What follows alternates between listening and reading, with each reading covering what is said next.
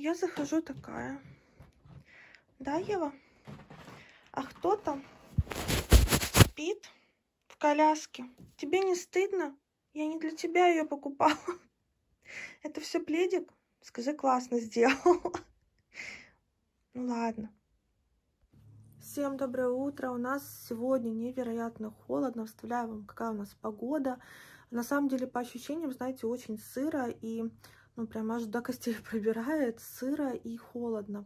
Но я знаю и верю всегда. В каждый год после Пасхи уже температура поднимается, поэтому ждем, ждем, чтобы можно было как-то и пройтись, погулять нормально, да, и воздух сразу тоже меняется. Но весной уже пахнет вовсю.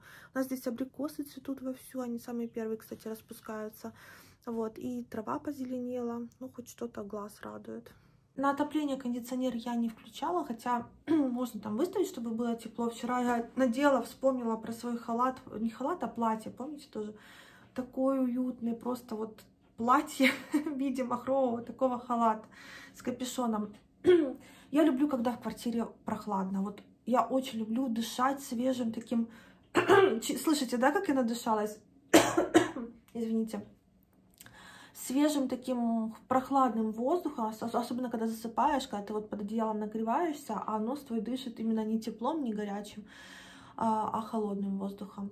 У нас просто в квартире летом дышать нечем вообще. Это, ну, у нас не то, что жарко, у нас просто баня. Особенно вот в этой комнате, где мы сейчас спим. У нас есть дальняя комната, она там глубже и стена от лифта, поэтому там всегда прохладно.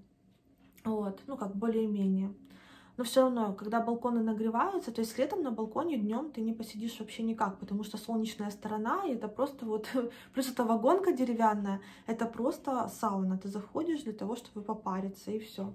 Но кондиционер, слава богу, есть, поэтому уже этим летом будет более-менее, можно будет как-то себя чувствовать более-менее комфортно.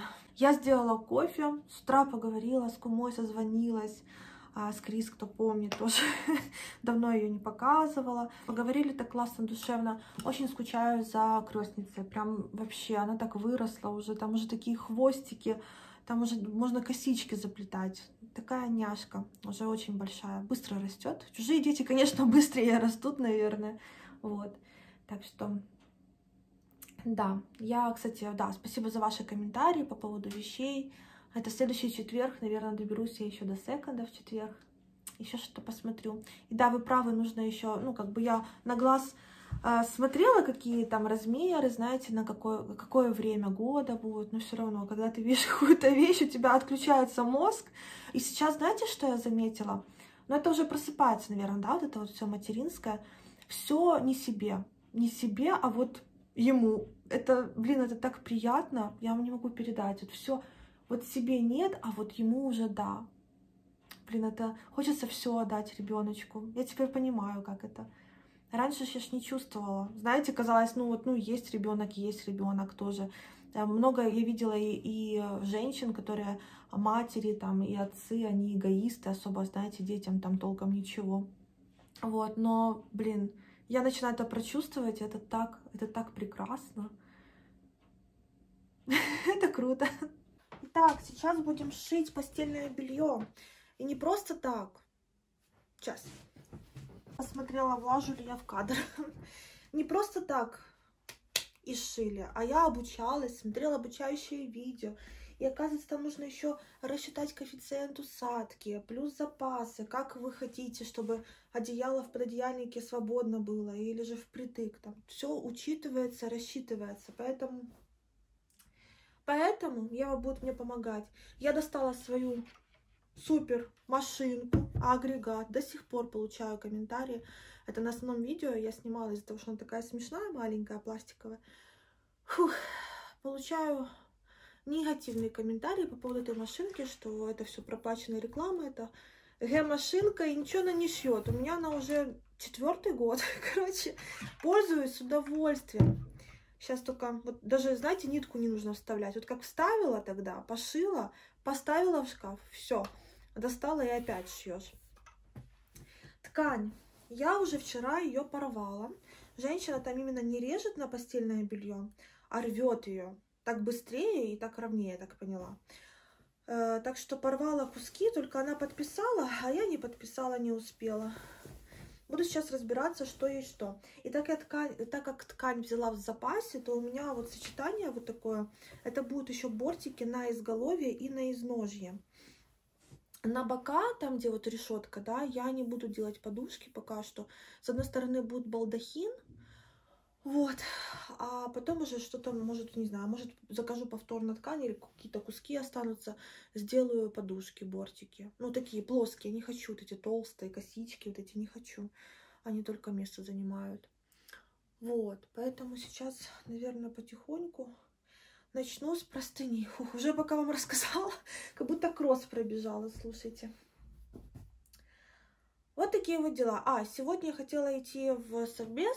Как всегда, Юра сказала, без меня не иди. Поэтому я сегодня максимум, что сделаю, схожу, сделаю ксерокопии и найду скумбрию ему приготовлю. А в совбез уже вместе пойдем. так что будет веселее в очереди стоять. Я, кстати, приклеила сюда вот такую ленту. Вот, очень удобно измерять ткань. Я, честно, довольна, что я этим занялась. Но я еще заказала постельное белье уже готовое. У одной женщины в Инстаграме нашла.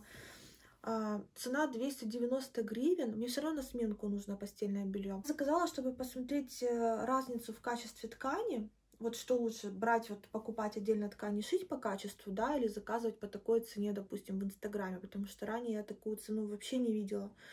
Вот, в основном из этих вот современных тканей, вот такого стиля, ну, классного, да, красивого, модного, то такие стоят от 700 и выше. Они умножают на 3 себестоимость ткани, плюс работа, понятное дело, умножают на 3.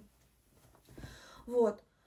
А если что-то такое простенькое или вообще устаревшие такие, ну, не, не совсем мне красивые узоры какие-то, то, конечно, это намного дешевле и плюс зернистая ткань. Я вам скажу, вот, ну, можете сейчас писать, что какая разница, какая расцветка и все такое, но я очень сильно люблю, чтобы мне радовало глаз. То есть, если какая-то постель, какое-то постельное белье, которое мне не нравится по цвету, оно меня будет бесить очень долго, то есть оно меня будет раздражать. Я себя люблю окружать ну, тем, что мне нравится, на что мне нравится смотреть. Как-то так, я не знаю, как вам объяснить, может, ну, у многих так. То есть, если э, купить, вот даже вот в себе купить постельное белье, э, я выбираю именно по расцветке. Не обышу було, а по расцветке, чтобы мне было приятно смотреть и вообще, чтобы оно меня радовало. Ой, какое красивое, знаете, ходить вокруг да около. Вот такая, немножко такая. Это я вам покажу, как катушку наматывать.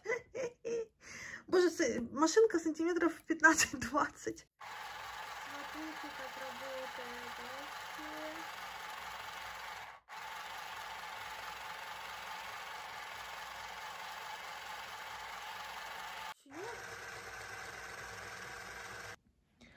Покажу вам, какой шовчик получается. Очень даже неплохой. Вот, ровненький, хорошенький. Ну все, погнала. Включаю что-то. Смотреть и буду шить. Вчера был праздник, я не шила только по одной причине, потому что мне было лень. я очень как-то, не знаю, спать хотела. Но я сейчас просто для всех суеверных, не, не то что на зло, просто скажу свою позицию, опять-таки. Вот. Кто как мыслит. Но у меня немножко другое мышление. Я очень сильно отличаюсь, наверное, от многих. Для меня что-то сделать в праздник, допустим, руками, что-то связать, да, это нормально, то есть я не обхожу праздники. Мне наоборот кажется, что если ты в праздник это делаешь, ну, это мои мысли, то вещь становится еще святее, понимаете? У меня как-то такое мышление, будете с этим спорить, знаю, какие-то аргументы подбрасывать и все такое, но вот так вот я отличаюсь от многих. Об этом, конечно, стоило бы, наверное, помолчать о такой позиции, но вот сказала, интересно, как вы отреагируете на это. Фух, девочки, вокруг меня одни нитки. вот. Под пододеяльник я хочу э, ну, шить полностью все с бортиками, еще постирать это все, погладить, и потом уже показать полностью набор, который я сделала. Мне очень нравится эта вот вставка внизу. Она не просто так появилась, потому что я решила оставить чуть больше ткани, вдруг не получится на бортике. Вот, и разнообразить пододеяльник. Прикольно, да, там в ножках будут. Ну, блин, расцветка классная-то. И, ну, еще плюс, конечно, учитывать то, что может ткань сесть. Здесь запасик есть. Я думаю, что будет круто.